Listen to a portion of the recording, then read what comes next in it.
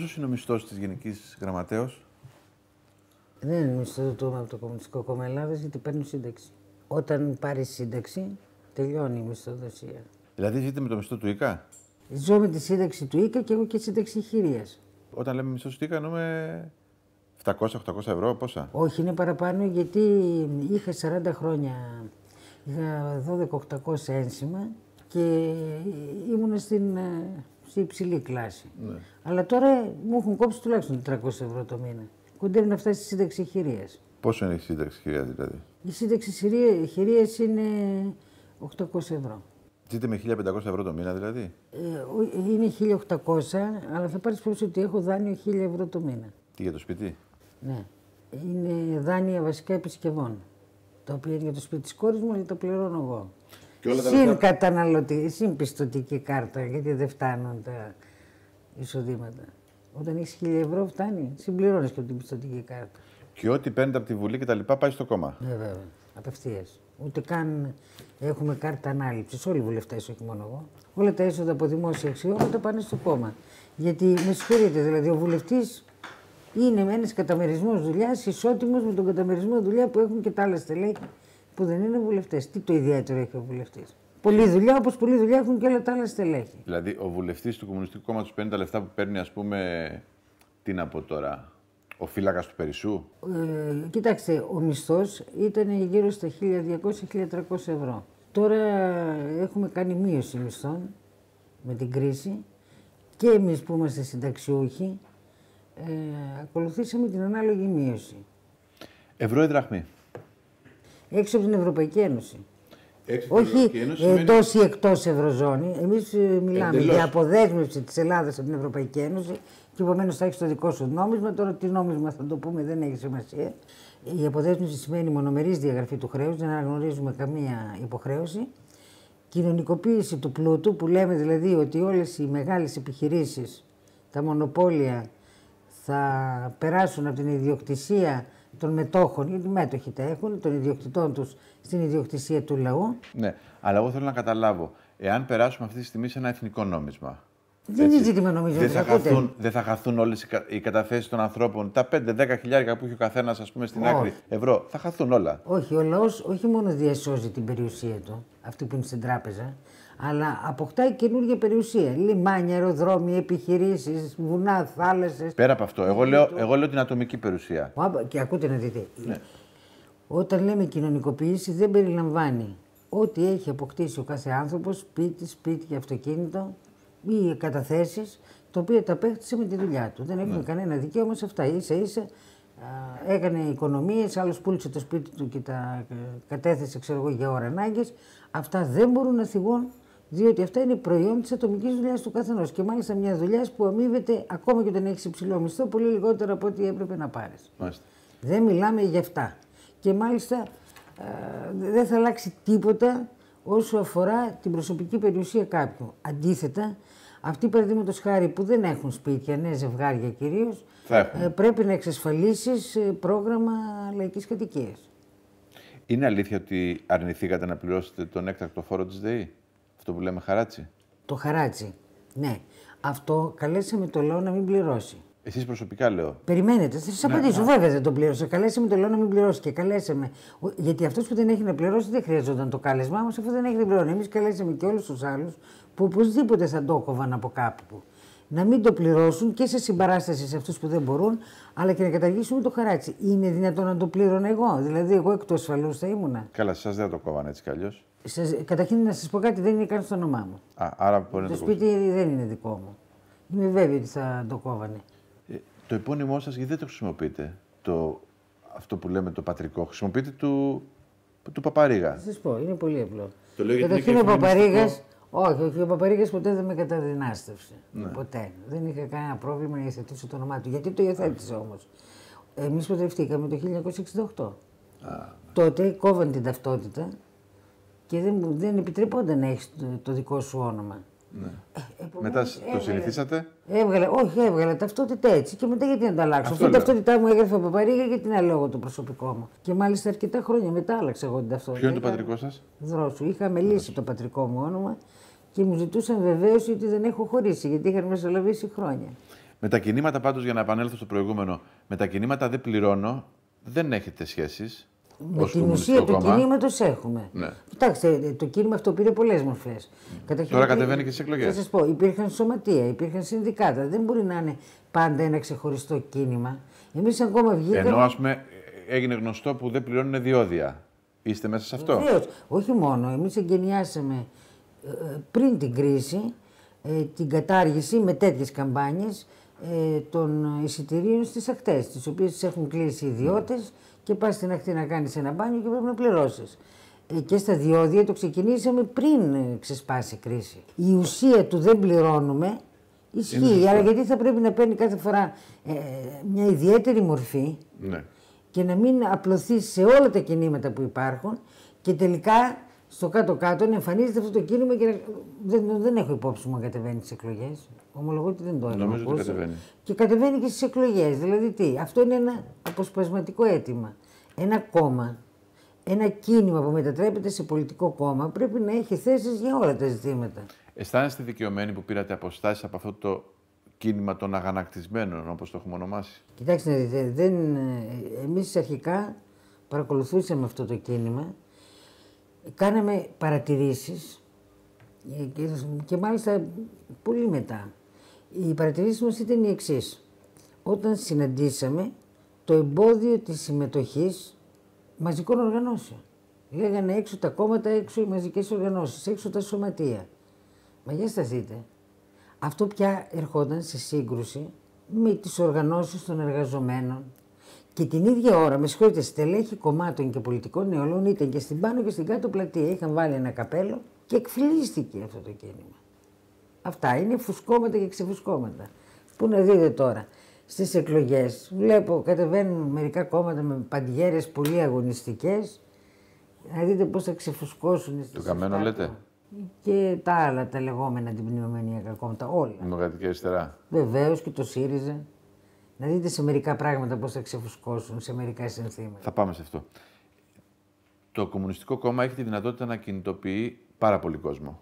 Έτσι, ίσως είναι το πρώτο κόμμα ε, σε δύναμη στους δρόμους. Ναι. Ε, έχω δει συγκεντρώσεις του ΚΚΕ, όπως και του ΠΑΜΕ, σε λωρίδα του δρόμου. Και όχι μόνο να αποκλείει το κέντρο. Πιστεύετε ότι πρέπει να έχουμε μια συνεννόηση ώστε επειδή κάθε μέρα έχουμε μια συγκέντρωση στην Αθήνα, να μην αποκλείεται κάθε μέρα το κέντρο. Εντάξει, όταν κατεβαίνουν ας πούμε 200 άτομα, γιατί τόσα είναι τα άτομα που δουλεύουν σε ένα συγκεκριμένο εργοστάσιο, ε, είναι φανερό ότι δεν κλείνουν οι δρόμοι.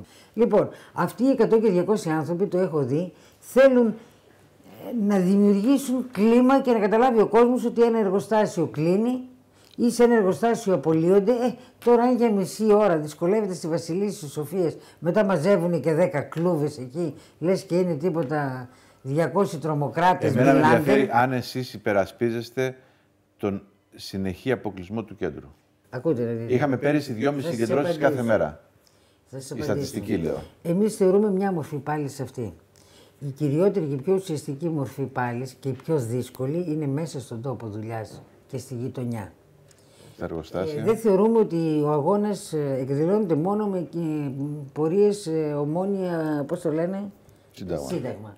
Και μάλιστα εμείς θέλουμε να αναπτύσσονται έξω από τους τόπους δουλειάς, μέσα από τους τόπους δουλειάς και στη γειτονιά. Δεν είναι τυχαίο ότι παραδείγματος χάρη εμείς στηρίζουμε την απόφαση του ΠΑΜΕ η πρωτομαγιάτικη συγκέντρωση να γίνει έξω από τη Χαλιβουργία και όχι στο κέντρο της Αθήνας. Μάλιστα. Και τη χαιρετήσαμε αυτή την απόφαση, παρότι αν θέλετε ή- θα υπάρχει ένας κόσμος που δύσκολα μπορεί να μετακινηθεί εκεί. Στην Εθνική Οδό. Ναι. Και δεν το κάνουμε ούτε για να διευκολύνουμε αυτούς που την Πρωτομαγιά την ταυτίζουν με τα άνθη, εν πάση περιπτώσει, αλλά και πρέπει το κίνημα να έχει και καινούργιες μορφές πάλι.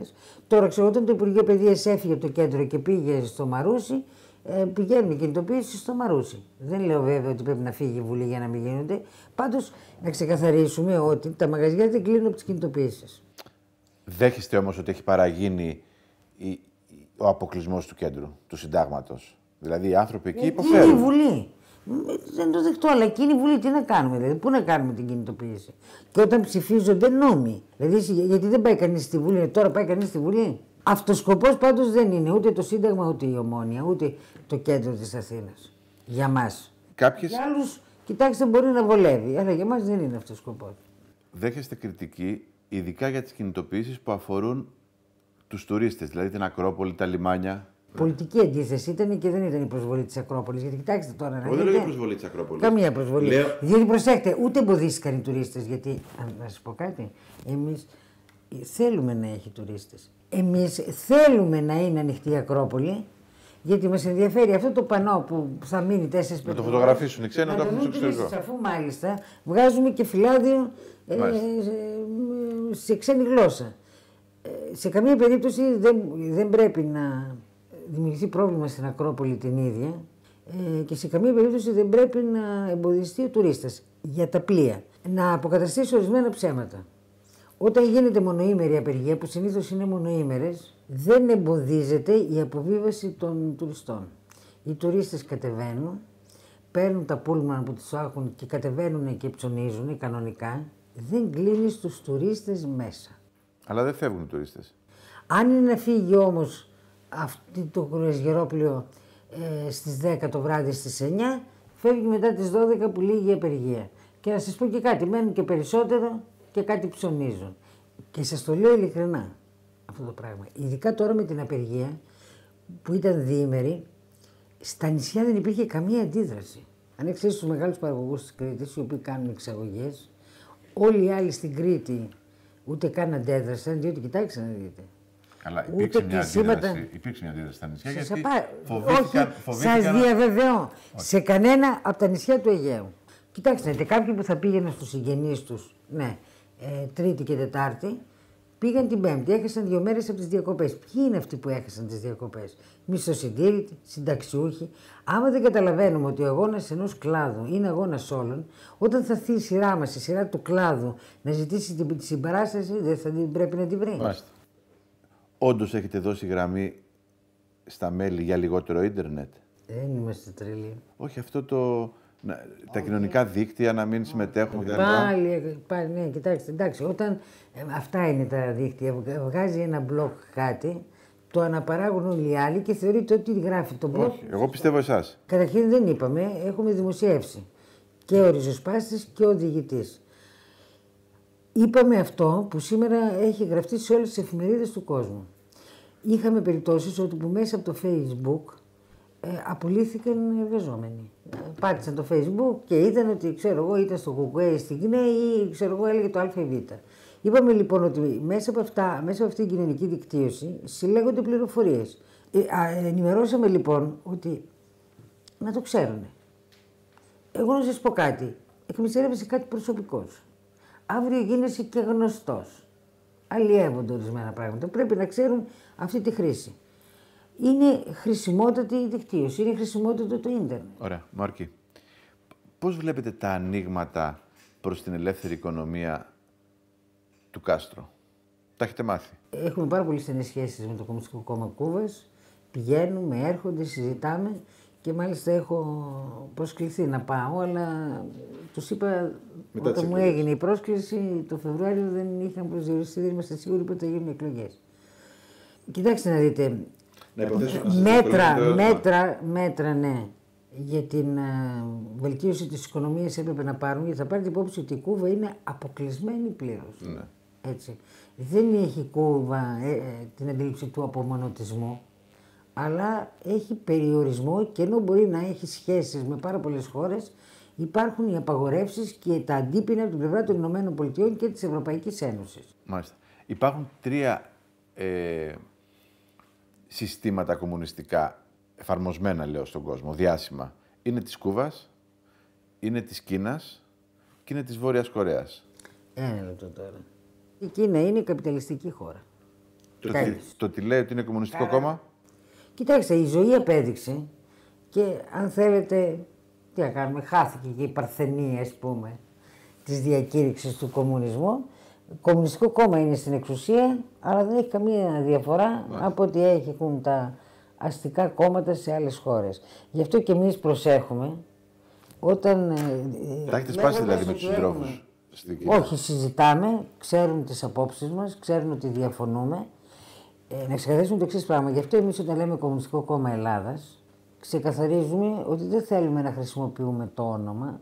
θέλουμε και τη χάρη. Και σε όποιον αρέσει, σε τελευταία ανάλυση. Κορέα; Αλλά, κοιτάξτε να δείτε. Η Κορέα είναι σοσιαλιστική χώρα. Δεν είναι πρέπει- δικτατορικό το Θα σας καθεστώς. πω. Δηλαδή, όταν ο πατέρας δίνει την εξουσία στο Περίμενε, γιο. α, η δικτατορία είναι κάτι πολύ πιο φοβερό πράγμα. Θα σας πω γι' αυτό το συγκεκριμένο. Βεβαίως υπάρχει νεποτισμός. Πατέρας, γιος και γονός. Ξέρετε, στο κόμμα μας έχετε δει πώ είναι τα πράγματα. Εμείς αυτό το αποκλείουμε. Και θέλω να σας πω κα- κάτι; Γι' αυτό παραξενεύομαι. Μα δεν χαιρετίζουμε αυτό και έχουμε τοποθετηθεί σε αυτό το πράγμα. Και να σας πω και κάτι. Αλλά τους λέτε σοσιαλιστές πάντως. Ε, ε, τι σοσιαλιστές; Όχι, δεν, το λόγο, εμείς τον όρο σοσιαλιστή δεν το χρησιμοποιούμε. Τους είναι Κορεάτες, κομμουνιστικό λέω. κόμμα. Ναι. Ε, είναι κομμουνιστικό κόμμα, έχουν σοσιαλισμό βεβαίως, ε, ο οποίος οικοδομείται κάτω από πολύ δύσκολες συνθήκες. Θα πάρετε υπόψη και το εξής πράγμα. Ε, ξέρετε, ε, στην παράδοση κάθε λαού, οι λαοί της Ανατολής έχουν τις δικές τους παραδόσεις και αυτές οι παραδόσεις έχουν και θετικά πράγματα, έχουν και αρνητικά οι παραδόσεις. Αν δείτε την ιστορία του κόμματός μας, τέτοια φαινόμενα δεν είχαμε ούτε θα έχουμε. Και μάλιστα θα σας πω και καθαρά. Εγώ δεν αποκλείω ο γιος ενός στελέχους ή η κόρη να έχει ικανότητες και περισσότερες από τον πατέρα. Για μας από θέμα αρχής δεν θα γίνει. Δεν θα του δώσει την καρέκλα του. Όχι. Ακόμα και αν είναι ή θα γίνει εναλλαγή. Γενικά τα αποφεύγουμε αυτά τα πράγματα συνειδητά και μάλιστα σε νέους ανθρώπους. Όταν λέτε κοινωνικοποίηση του πλούτου της χώρας, τι εννοείτε, να γίνουν ουσιαστικά όλα κρατικά; Να περάσουν τα λιμάνια Όχι, στο κράτος; χρησιμοποιούμε τον όρο κοινωνι... κοινωνικοποίηση ένα. Ναι, πρακτικά όμως τι σημαίνει αυτό στο κράτος; Λαϊκή περιουσία. Περιμένετε, περιμένετε, δεν υπεκφεύγω. Ναι. Ο δεύτερος όρος που χρησιμοποιούμε είναι εργατική λαϊκή εξουσία, όχι εξουσία του ΚΟΚΟΕ. ναι. Από, λοιπόν, να ξεκαθαρίσω τι σημαίνει τώρα κοινωνικοποίηση. Η Ένα υγεία παράδειγμα ανή- θέλω να μου Η δώσεις. υγεία ανήκει στο λαό. Η ΔΕΗ, η ΟΤΕ, για να μιλήσω με όρους εδώ, όλα αυτά ανήκουν στο λαό. Πώς διοικούνται; Δεν υπάρχει μια Εκλέγονται. διαφορά α, μετά από τόσα χρόνια κυριαρχίας διεφθαρμένων πολιτικών, Η έτσι δι- ώστε, θα σας πω. έτσι ώστε Ε, ότι να τα πεις πρόσωπα- ότι κοιτάξτε. δεν μπορεί να εμπιστευτείς, ας πούμε, μπορεί να εμπιστευτείς Τότε με σήμερα αυτή τη τους λογική- συνδικαλιστές σε ένα τομέα να Περιμένετε. του δώσεις την εξουσία. Μα περιμένετε, περιμένετε. Λέω. Α, τι εννοώ. Κοιτάξτε να δείτε. Ε, τα πρόσωπα τα οποία μπορεί να είναι τίμια, αλλά να, στην εκλογή της να φανούν αποτελεσματικά, τότε να σας πω, να βάλω υπογραφή ότι όποιος είναι κομμουνιστής δεν, είναι, δεν μπορεί να γίνει και κατάλουση, δεν μπορεί και να χαλάσει. Εντάξει, αλλά θα σας πω όμως πώς είναι ο έλεγχος. Οι αντιπρόσωποι του λαού, δηλαδή οι βουλευτές, εκλέγονται με, βα- από κάθε παραγωγική μονάδα. Αυτοί που δεν είναι σε παραγωγική μονάδα, συνταξιούχοι, εκλέγονται σε τοπική βάση. Εκλέγουν, ας πούμε, τον κατακλάδο αντιπρόσωπο σε επίπεδο περιοχής. Αυτός μπορεί και πρέπει να, όχι μπορεί, πρέπει να είναι ανακλητός. Μάλιστα. Δηλαδή η λαϊκή συνέλευση θα τον ελέγξει. Μετά η λαϊκή συνέλευση. Βεβαίως, διευθυντής πρέπει να υπάρχει στο εργοστάσιο. Δεν μπορεί όλοι να κάνουν τους διευθυντάδες. Ο διευθυντής μπορεί στην πρώτη φάση να ορίζεται, να προτείνεται από τα πάνω και να εγκρίνεται από τα κάτω.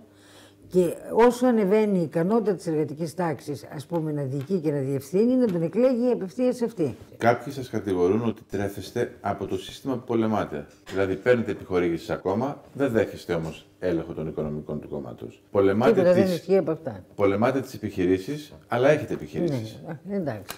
Πάντως όλους τυχαίως αυτοί που τα λένε είναι οι υπερασπιστές των μνημονίων, των δανειακών συμβάσεων, του συστήματος. Αυτοί που λένε ε, να κόπουν τα, να ανέβει το όριο συνταξιοδότησης και δεν το λένε, το κάνανε κιόλας. Είναι δηλαδή αυτό που λέμε αυτοί που εχθρεύονται τα συμφέροντα του λαού. Φεύγω λοιπόν και απαντάω στο συγκεκριμένο. Βεβαίως, μέσα στις συνθήκες του καπιταλισμού δεν μπορεί να υπάρχουν ε, κομμουνιστικές νησίδες. Προσέχτε, η κρατική επιχορήγηση καθιερώθηκε το 1990 με ένα σκεπτικό. Ότι Να τα μικρύνει. κόμματα. Όχι. Συμφωνείτε να μικρύνει; Εμείς δεν θα έχουμε αντίρρηση και όταν καταργηθεί, αλλά να καταργηθεί για όλους. Εννοείται. Όχι, όχι, όχι να βρεθούν τρόποι. να Τα κόμματα καταργηθούν εξουσίας για λέτε να ορισμένους. παίρνουν Να κρυφές. καταργηθούν για όλους. Είμαστε υπέρ του να μειωθούν και μάλιστα τώρα στην Διακομματική Επιτροπή ζητήσαμε την γενναία μείωση της επιχορήγησης για τις εκλογές ε, όχι γιατί δεν έχουμε ανάγκες, αλλά ε, ακριβώς γιατί σεβόμαστε την κατάσταση που ζει ο λαός. Και δεν το υιοθέτησε κανένα άλλο κόμμα. Μάλιστα. Λοιπόν, έλεγχο δεχόμαστε. Δηλαδή ότι, όλους τους ελέγχους που έχουν όλα τα κόμματα. Και, και οι επιχειρήσεις που λέτε ότι έχουμε, Παραδείγματος χάρη το εκδοτικό μας δεν είναι επιχείρηση στην κυριολεξία. Επιδοτείται από το κόμμα. Ναι, αλλά έπαιρνε δουλειά στην εκδοτική κανονικά, στην αγορά. Μιλάω το εκδοτικό, δεν είναι εκδοτικό, άλλο η Α, ε, εκδότηση. εννοείται ότι. Ναι, ο όμως ριζοσπάστης. έχει τη μορφή επιχείρησης. Ναι. Γιατί δε- και δέχεται τους ελέγχους όπως δέχεται κάθε επιχείρηση. Παρότι δεν είναι κερδοφόρη επιχείρηση. Η τυποκριτική αναγκαστικά έγινε όταν διαπιστώσαμε ότι είμαστε, μας εκβίαζαν οι διάφοροι και όσο το κόμμα δυνάμωνε, στη δεκαετία του 70 άρχισαν οι διάφοροι εκβιασμοί, σας τυπώνω, σας τυπώνω αυξήσεις και είπαμε σε δύσκολες συνθήκες να έχουμε το δικό μας τυπογραφείο. Επειδή αυτό έχει μεγάλο κόστος να εκδίδει στο ριζοσπάστη, Βγήκε στην αγορά. πήραμε και ορισμένες δουλειές, όλα αυτά για να χρηματοδοτεί το ριζοσπάστη. Από ένα σημείο και μετά δεχτήκαμε όλη την εξέλιξη της κρίσης του κλάδου που εί- προηγήθηκε της καπιταλιστικής οικονομικής κρίσης. Θέλετε να σας πω το συμπέρασμα, όντως ένα κομμουνιστικό κόμμα δύσκολα μπορεί να έχει μια τέτοια επιχείρηση ακόμα και αν το κάνει ε, για να αντιμετωπίσει τους περιορισμούς και τις επιθέσεις που θα δέχεται από τους Θα ανταγωνιστές. κλείσει την υποκριτική δηλαδή. Κοιτάξτε να δείτε, η τυποκριτική έχει μπει στο άρθρο 99. Έχουμε εξαιρέσει από το άρθρο 69 τους μισθούς των... Αναγνωρίζουμε δηλαδή τους μισθούς ε, ολόκληρους και μάλιστα με αποζημιώσεις όσοι χρειάζεται να απολυθούν του παλιού νόμου, όχι του καινούριου και προσπαθούμε να φτάσει σε ένα σημείο που να μπορεί να επιβιώσει η τυποκριτική με κύριο στόχο βεβαίως να μπορέσει να υπηρετήσει τις εκδοτικές ανάγκες του χώρου. Και εδώ κάνατε απολύσεις και στο περισσό. Μειώσατε προσωπικό λόγω της κρίσης. Ε, Στην τυποκριτική. Ε, μισθούς. Όχι, λέω στο κόμμα. Ε, ο- στο κόμμα. Στο κόμμα μειώσαμε μισθούς. Τα Έχετε χα- επαγγελματικά στελέχη. Ναι, ναι. Έχετε Τα χαρακτηρίσει, πολιτικά στελέχη δηλαδή.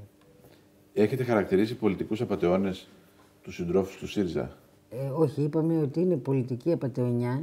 Η συγκεκριμένη πρόταση. Ναι, ναι, η συγκεκριμένη πρόταση για τις 50 έτες που τώρα την άφησαν, μόλις αποκαλύφθηκε ότι αυτό δεν γίνεται που έλεγαν, την άφησαν και βρήκαν πάλι τις 8 μονιδικές, οι οποίες και αυτές δεν ισχύουν. Σε αυτές τις 8 μονιδικές, καταρχήν ο σοσιαλισμός δεν έχει καθόλου δύναμη, έχει ελάχιστη δύναμη. Αλλά και τις 8 μονιδικές θα μοιραστούν, εάν τις χάσει το Πασόκ ή η Νέα Δημοκρατία, όποια χάσει, μία-δύο, θα τις πάρει κάπου αλλού γιατί καθορίζεται από το ποσοστό. Είναι Οι ρουλέτα. έδρες δεν χάνεται. Συ- Και ε, να σας πω και κάτι, και, αφού δεν έχουν ψηφοφόρους σε αυτές τις περιοχές, πού θα μας ψήφιζαν για να βγούμε; Μην λέμε τώρα ανοησίες. Πάντως δεν έχετε χημεία με τον Τσίπρα. Όχι, δεν είναι πρόβλημα χημίας, δεν έχω κανένα πρόβλημα προσωπικό. Έχουμε πρόβλημα με το φορέα. Δεν είχαμε πρόβλημα, δεν, έχεις, δεν έχουμε προσωπικό πρόβλημα με τα πρόσωπα. Δεν είναι πιο κοντά σας ε, ο ΣΥΡΙΖΑ όμως από όλα τα άλλα κόμματα; Ε, θα σας πω, ε, Από το κουβέλι ας πούμε. τέτοια κόμματα σαν το ΣΥΡΙΖΑ παίζουν έναν διαβρωτικό αρνητικό ρόλο στην όθευση του ριζοσπαστισμού. Για να δείτε τώρα τι λέει προεκλογικά.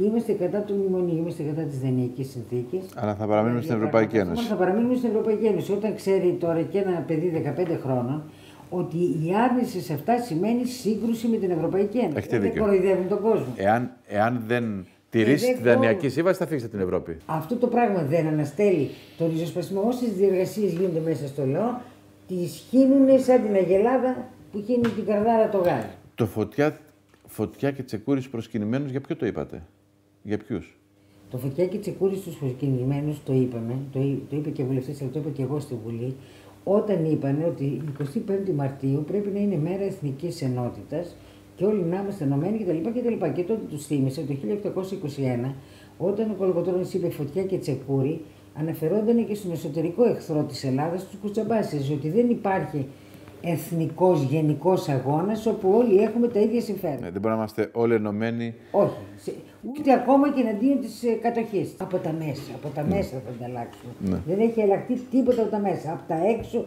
και σε αντίθεση. Άρα φωτιά και τσεκούρις προσκυνημένους. Βεβαίως. Έχετε ζητήσει να γίνουν χώροι στέγασης για τους μετανάστες; Έχουμε πει βεβαίως. Πού; Σε όλη την Ελλάδα. Σε στρατόπεδα, αυτά που έχουν πει ας πούμε. Όχι, να είναι χώροι καταρχήν οι οποίοι να έχουν υποδομές σύγχρονες και ανθρώπινες. Ναι, αλλά μιλάμε για μεγάλους χώρους, δεν μιλάμε για σπίτια τώρα.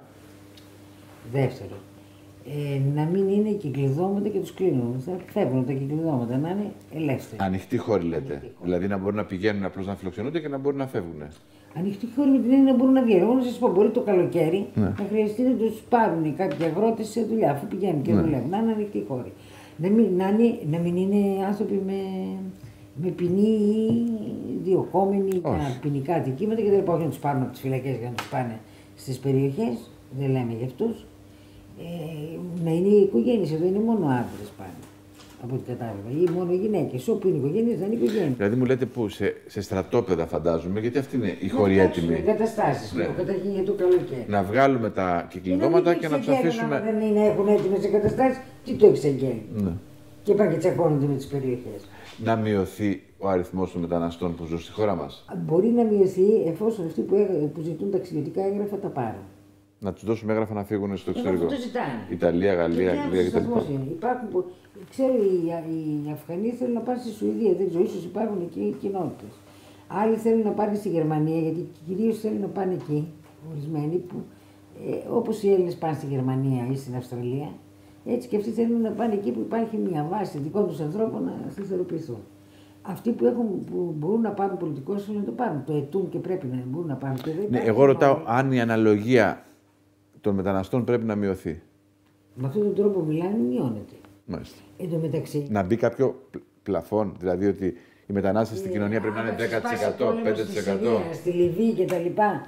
Γιατί έχει αρχίσει και νέος εμφύλιος στη Λιβύη. Πώς θα τα λύσεις αυτά; Άμα πυροδοτήσουν πολέμους εδώ στη Μέση Ανατολή, γιατί εδώ πρέπει να δούμε και τα αίτια αυτής της μαζικής μετανάστευσης. Από πού είναι; Από χώρες με δικτατορικά καθεστώτα, από χώρες που είχαν ε, Πολέμους. φασισμό και πολέμους.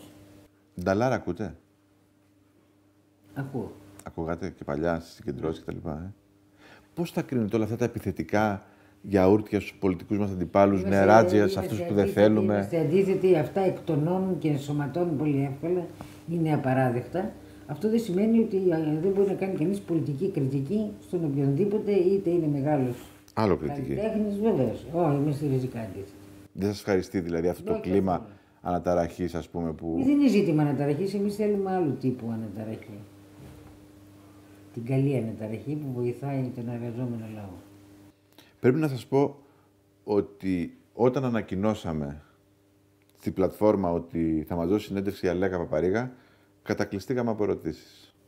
Δεν ξέρω. Ίσως να μην έχετε τόσο ταχτή επικοινωνία με τον κόσμο του διαδικτύου και ο κόσμος να θέλει απαντήσεις από εσάς. Προσωπική επικοινωνία δεν έχω, έχει το κόμμα. Δεν έχω προσωπική. Λοιπόν, θα Δεν σας κάνω... είμαστε αρχηγοί σαν τα άλλα κόμματα. Δεν έχω. Έχω αρκετά facebook τα οποία δεν είναι δικά μου. Τι είναι, ε, Άλλοι χρησιμοποιούν το τα όνομά έχουν σας; ανοίξει, Ναι. Να, τώρα αυτό είναι δημοκρατία. Κάνει καριέρα δηλαδή κάποιος ως Αλέκα Παπαρίγα στα κοινωνικά δίκτυα; Ναι. Μέχρι και έχω και στην αγγλική γλώσσα. Ναι. Ναι. Αυτά... Καμία σχέση δεν έχετε εσείς με αυτά; Καμία και τα έχουμε σημειώσει στο ριζοσπάστη και μάλιστα. Ε, αυτά λέγαμε και στα μέλη του κόμματος και γράφαμε στο ριζοσπάστη. Δεν είναι μια παγίδα αυτή και να μην μπορώ εγώ να παρέμβω. Πού ξέρω εγώ, ούτε το παρακολουθώ βέβαια, με κάποιοι το παρακολουθούν και μου λένε.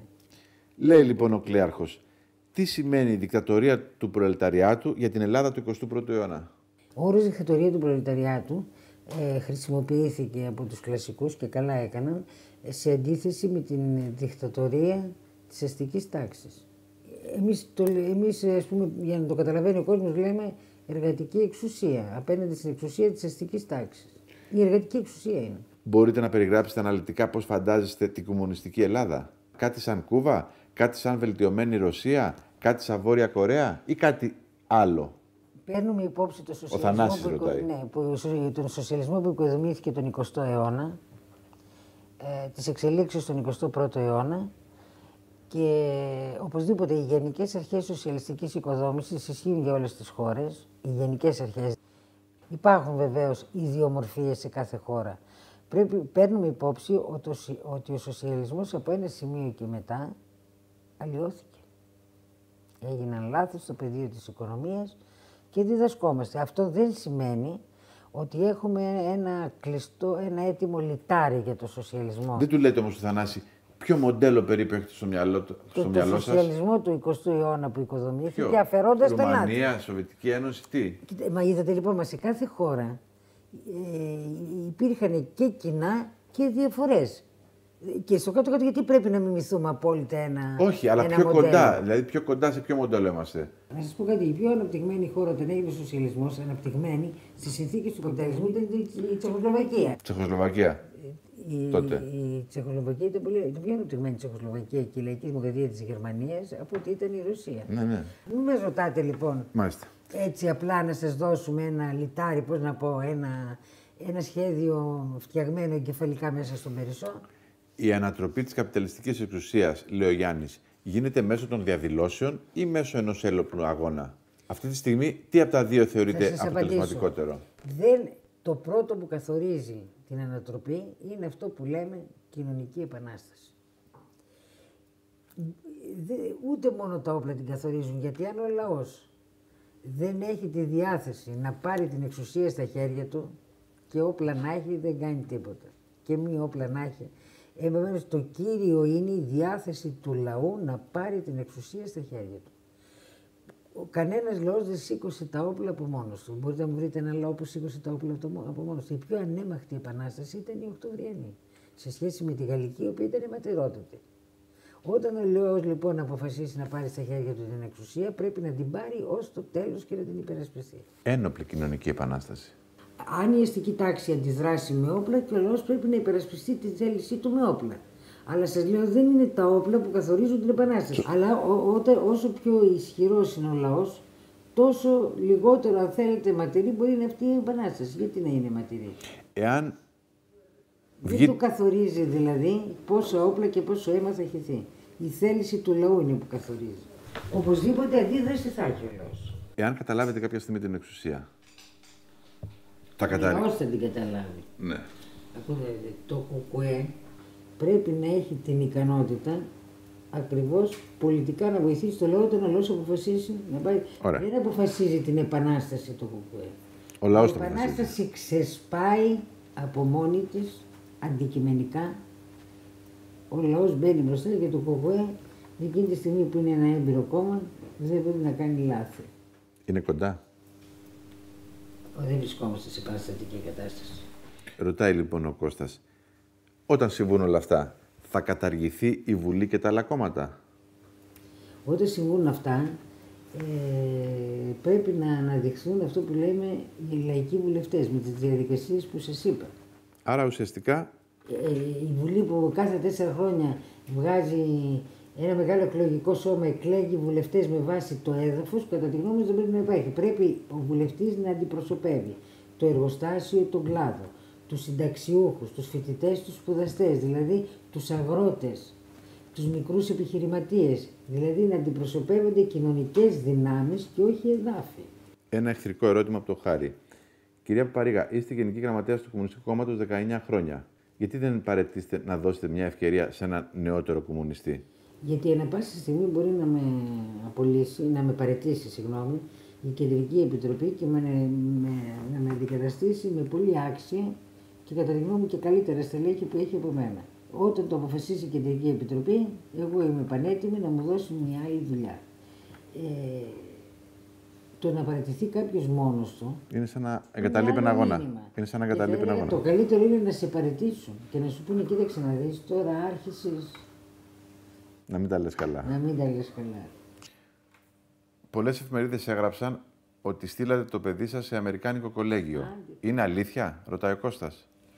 Λοιπόν, εγώ μπορούσα, θα το έστειλα και σε Αμερικάνικο Πανεπιστήμιο. Πού είναι το πρόβλημα, ή σε Γαλλικό Πανεπιστήμιο ή σε Βρετανικό κτλ. Αν, αν το ίδιο ήθελε και αν μπορούσε. Εμείς δεν είμαστε αντίθετοι με Αμερικάνικες σπουδές ή με Ρωσικές ή με Ιουγκοσλαβικές ή οτιδήποτε. Είσαστε ενάντια όμως στην ιδιωτική εκπαίδευση. Είμαστε ενάντια με αυτό πάω να πω. Και είμαστε υπέρ της κατάργησης και της μη ισοτίμησης του κολεγίου με τα ελληνικά πανεπιστήμια και τα έχουμε ψηφίσει στη Βουλή. Από εκεί πέρα μπορώ να σας πω μια ολόκληρη ιστορία. Έδωσε δύο χρονιέ η κόρη μου εξετάσεις στο πανεπιστήμιο, δεν μπήκε. Κατά τη γνώμη μου είχε κάνει και λάθος επιλογή σχολής. Δεν αντέχαμε τρίτη χρονιά φροντιστήριο. Ήθελε να ασχοληθεί με αγγλική λογοτεχνία αποκλειστικά. Και όλοι μου είπαν ότι στο, αγγλικό κολέ... στο Αμερικάνικο κολέγιο υπάρχει Τμήμα Αγγλικής. Τμήμα Αγγλικής Λογοτεχνίας. Αυτό τέλειωσε. Αγγλική Λογοτεχνία και ασχολείται με την Αγγλική Λογοτεχνία και τώρα ασχολείται και με την Ισπανική. Και σπουδάζει μέχρι τώρα η κόρη μου. Άρα δεν πήγες σε ιδιωτικό σχολείο που Όχι, λένε; πήγε στο Αμερικάνικο κολέγιο. Όχι, σωστή. δεν πήγες σε ιδιωτικό σχολείο ως παιδί, λέω. Σε Όχι. δημοτικό και Θα γυμνάσιο και ξεκαθαρίσω τέτοια. Και θα σας πω και αυτό για να τελειώνει με αυτό το παραμύθι. Σε ιδιωτικό σχολείο πήγε μόνο στο δημοτικό και σε... είχα και ένα άλλο παιδί. Θα σας πω τώρα μπορεί και να θεωρηθεί δακρύβευτη, δακρύβευτη ιστορία, αλλά θα την πω. Ε, Και είχα και δεύτερο παιδί εγώ. Έχοντας λοιπόν δύο παιδιά, το οποίο το έχασα μετά. Το ένα παιδί πήγε από 10 μερών σε ιδιωτικό παιδικό σταθμό και η κόρη μου σε ιδιωτικό δημοτικό γιατί δουλεύαμε και, και οι τρεις, η μητέρα μου, ο άντρας μου και εγώ. Στο δεύτερο παιδί ο Θανάσης ήταν στην εξορία, δεν είχα πού να το αφήσω. Είχα μια γιαγιά που έπρεπε να την περιποιείται και η μητέρα μου. Το σχολείο το δημοτικό της γειτονιάς μου ήταν πρωί-απόγευμα 8-12. Άλλαζε. Το γνωστό. Εγώ έφευγα το πρωί για το βράδυ. Η μητέρα μου γίνανε το απόγευμα και μετά έπρεπε να πάει να κρατήσει τη μητέρα της και την αδελφή της να συμβάλλει που ήταν ανάπηρη. Και επομένως έστειλε το παιδί μου. Παιδικός σταθμός δημόσιος δεν έπαιρνε ούτε το ένα παιδί ούτε το άλλο. Υπήρχαν το δημοσίων υπαλλήλων τότε μόνο σταθμοί. Δεν υπήρχαν άλλοι δημόσιοι. Το παιδί λοιπόν το δεύτερο που γεννήθηκε πήγε από 10 μερών στο ιδιωτικό παιδικό σταθμό και πλήρωνα μέχρι περίπου τα τρία χρόνια που πέθανε. Το παιδί μου πήγε σε, σε δημόσιο σχολείο που ήταν κοντά στη δουλειά της μητέρας μου και πήγαινε και το, το κρατούσαν και μετά και πήγαινε και το έπαιρνε η μητέρα μου, το πήγαινε στη δουλειά της και όταν τέλειωνε τη δουλειά ερχόντουσαν στο σπίτι. Και, και δίναμε τα χρήματα τα οποία τα, τα, τα κόβαμε από το φαγητό μας. Αυτά τα χρήματα. Λοιπόν, βεβαίως τα κενά που έχει το δημόσιο σύστημα πρόνοιες, κοινωνικής προστασίας κτλ. Πού θα αφήσεις το παιδί στο δρόμο, θα πάρεις κουβερνάντες. Κάποιοι που είχαν κουβερνάντες, εγώ κουβερνάντες δεν μπορούσα να πάρω στο σπίτι. Αυτή λοιπόν η πολιτική που λέγεται, ναι, πήγε στο, στο ιδιωτικό για αυτόν τον συγκεκριμένο λόγο. Δεν έχουμε ψηφίσει στη Βουλή ισοτίμηση Αμερικάνικου Κολεγίου και Πανεπιστημίου και λέω εδώ και τώρα το Αμερικάνικο Κολέγιο να κλείσει καταρχήν. Να μην έχουμε ιδιωτικά ιδρύματα, να το ξεκαθαρίσω. Αυτό όμως δεν σημαίνει ότι έπρεπε το παιδί μου. Όταν υπάρχει. Βεβαίως, αλλά αυτή την ώρα παλεύω. Γιατί με αυτή τη λογική δεν θα έπρεπε ο εργάτης να πάει να δουλεύει στον καπιταλιστή, γιατί στηρίζει την καπιταλιστική κερδοφορία. Δεν θα έπρεπε ο κομμουνιστής να είναι λογιστής, γιατί στηρίζει τα φορολογικά του εργοδότη. Είναι τρελά πράγματα αυτά. Πριν κάποια χρόνια είχατε προτείνει να ανέβει ο βασικός μισθός των δημοσίων υπαλλήλων στα 1.300 ευρώ, αν θυμάμαι καλά. Τον, λέει ο Στον ιδιωτικό τομέα είχαμε πει 1.400 ευρώ μεικτά στον, ε, στο δημόσιο πήγαμε, και, αλλά ισχύει και το ιδιωτικό, αυτοί που έχουν ας πούμε πτυχίο, οι επιστήμονες, οι δάσκαλοι εκπαιδευτικοί, είχαμε πει μεικτός μισθός 1600 και είχαμε κάνει και άλλες αναπροσαρμογές, ναι. αλλά τώρα αυτά έχουν φτάσει στον πάτο. Με ποια λογική τα έχετε προτείνει αυτά, λέει ο Βαγγέλης, από τη στιγμή που δεν υπάρχει αντίστοιχη παραγωγικότητα στη χώρα; Κάνει λάθος ο Βαγγέλης, ίσως ερμηνεύει αλλιώς την παραγωγικότητα. Η παραγωγικότητα στην Ελλάδα, σύμφωνα με τα επίσημα στατιστικά στοιχεία, ανέβηκε στη δεκαετία του 90 κατά 25% και οι μισθοί δεν ανέβηκαν. Η παραγωγικότητα, τα κέρδη ανέβηκαν. Τώρα σε περίοδο κρίσης βεβαίως γίνεται ύφεση. Αλλά τα, η παραγωγικότητα στην Ελλάδα ανέβηκε. Κοιτάξτε, οι, οι, οι παλιωμένες επιχειρήσεις με τη χαμηλή παραγωγικότητα κλείσαν στη δεκαετία του 80. Σήμερα δυστυχώς κλείνουν και εργοστάσια τα οποία έχουν ανεβασμένη παραγωγικότητα, σύγχρονη τεχνολογία. Άλλοι είναι οι λόγοι που κλείνουν. Είναι ο καπιταλισμός που καταστρέφει και τις δικές του επιχειρήσεις. Ένα πιο γυναικείο ερώτημα και τελευταίο. Τι άλλο κάνετε εκτός από το να ασχολείστε με το κόμμα; Η ενασχόληση με το κόμμα σε παραπέμπει καταρχήν να ασχολείσαι με τον καθημερινό άνθρωπο, να επικοινωνείς με τον καθημερινό άνθρωπο και να με τον εαυτό σου, να είσαι ευαίσθητος. Δεν τη απαντάτε συγκεκριμένα. Δεν τη απαντάω. Της Βαγγελιός. Μια κανονική ζωή έχω που δεν μπορεί όμως να είναι η ίδια με έναν άνθρωπο που δεν έχει μια τέτοια πολιτική δραστηριότητα σαν τη δικιά μου. Συνεχίζετε να μαγειρεύετε. Σαφώς μαγειρεύω και κάνω όλες τις δουλειές μόνο και σαφώς μαγειρεύω. Δεν υπάρχει βοηθός στο σπίτι, τα κάνω όλα μόνο. Θυμάμαι ότι είχα έρθει να σας δώσω μια συνέντευξη μετά από κάποιες κινητοποιήσει κτλ. Και, και είχατε αίματα εδώ. Και λέω, και σας λέω, τι είναι αυτά; Μου λέει, μου λέει καθάριζα το κοτόπουλο. Ήταν λίγο λιγότερο από ό,τι είχα φανταστεί. Και ομολογώ ότι οι δουλειές του σπιτιού και οι πρακτικές δουλειές είναι μια πολύ καλή εναλλαγή. Σε, σε καθαρίζουν λίγο. Δηλαδή θα πάψω να καθαρίζω αν καταρρεύσω. Τι να πω, αν μείνω ανάπηρο. Είναι σημαντικό πράγμα. Είναι σημαντικό πράγμα. Δηλαδή και τις κάνω πάρα πολύ ευχαρίστως ξεκουράζουν. Ποιο θα είναι το ποσοστό που θα σας κάνει ευτυχισμένοι το βράδυ της 6η Μαου. Προφήτης δεν είμαι. Λίγο παραπάνω από το προηγούμενο πάντως. Θέλουμε περισσότερους ψήφους και οπωσδήποτε αυτή η άνοδος να προέρχεται από τις εργατογειτονιές. Μας ενδιαφέρει και πού αυξανόμαστε. Ξέρουμε την κοινωνική σύνθεση των περιοχών και ξέρουμε ότι τα τελευταία χρόνια εκεί που ανέβηκε το κουβέντα ήταν βασικά στις εργατογειτονιές. Και στις νεότερες ηλικίες έχουμε άνοδο. Τελειώσαμε. Σας ευχαριστώ πολύ. Και εγώ σας ευχαριστώ. Για άλλη μια φορά μου απαντήσατε σε όλα. Το θαυμάζω αυτό σε εσάς. Λοιπόν. Δεν με ρωτάτε ποτέ τι θα ρωτήσω.